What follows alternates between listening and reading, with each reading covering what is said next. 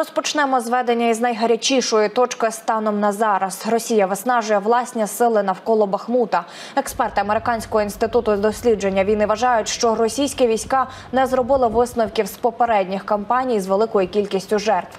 Втрати упродовж шести місяців жорстоких боїв навколо Бахмута значно перевищують будь-яку оперативну перевагу, яку росіяни можуть отримати від захоплення цього місця.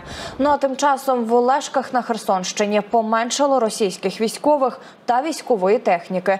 Їх вивели з деяких сіл області і розмістили у лісосмугах вздовж дороги Олешки Гола Пристань. Основна частина цих військ мобілізовані. І попри це, росіяни продовжують обстрілювати Херсон і завдають артилерійських ударів по мирних жителях. Цієї ночі окупанти вдарили по багатоквартирному будинку. Після влучання зайнялася пожежа. На щастя, обійшлося без жертв та поранених, але потужні російські обстріли призвели до того, що у Херсоні повністю зникла електроенергія. Про це повідомив голова Херсонської ОВА Ярослав Янушевич. Внаслідок обстрілу міста Білопілля на Сумщині загинув 15-річний хлопчик.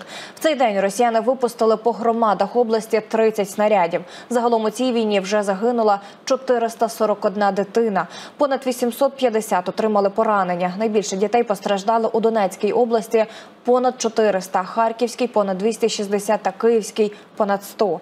Тим часом на Волинському та Поліському напрямках обстановка без суттєвих змін. Ознак формування наступальних угруповань противника немає. На полігонах Республіки Білорусь триває підготовка окремих підрозділів ворога.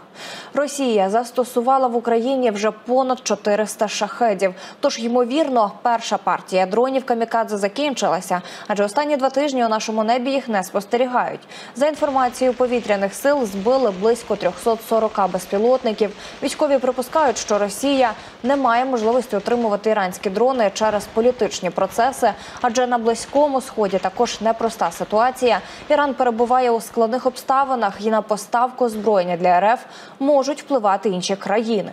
Окрім того, Пентагон укладав контракт на виробництво ще шести насамс для України. Про це повідомляє Міноборони США. Як відомо, в листопаді Україна отримала перші дві такі системи на закупівлю національних передових зенітних ракетних комплексів, обладнання та запчастин до них виділяють понад мільярд доларів, а завершать їх виробництво аж через три роки у листопаді.